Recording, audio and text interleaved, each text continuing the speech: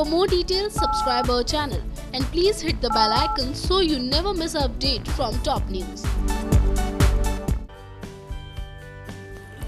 लीजिए इश्क में मर जावा की कहानी कितनी घूमती है ये हमें बताने की ज़रूरत नहीं क्योंकि ये तो आप देखते ही हैं और ये लीजिए 14 अगस्त के अपडेट में सबसे पहले आपको बताते हैं अपकमिंग का हाल जहाँ पर अब आरोही फंस चुकी है ये जानने के लिए कि दीप, तारा और विराट में से किसने ली है अंजलि की जान और कौन है उसका असली मुजरिम? जहाँ पर कहानी में खूब ज़्यादा शॉकिंग ट्विस्ट एंड टर्न्स अभी आने बाकी हैं, क्योंकि वो तीनों की छानबीन करती नज़र आएगी अच्छे से और तीनों का कनेक्शन ढूंढेगी अंजलि से, जहाँ पर ये देखना होगा इंटरेस्टिंग कि आखिरकार कौन होता है उसका वाकई में कातिल और क्या दीप तारा या फिर विराट, तीनों में से कौन निकलता है? क्योंकि हमारे माने तो देखिए ना, तीनों पर ही हमारा शक पूरा पूरा जा रहा है कि कोई भी हो सकता है तीनों में से। क्योंकि तीनों ही ऐसे हैं जहाँ पर किसी पर भी भरोसा कर सकते हैं, उनकी, उन्होंने ली होगी अब अंजलि की जान। ऐसे में आगे आप कहानी में जब ये देखेंगे कि फाइनली रिवील हो जाएगा कि कौन है अंजलि का असली मुजरिम तो उसके बाद क्या करती है आरोही और कैसे उसको इंसाफ दिलवाती है, जहाँ पर वो उसको भिजवा कर दिखाएगी जेल, जहाँ वो दिलवा देगी फाइनली अंजलि को इंसाफ टॉप न्यूज़ की report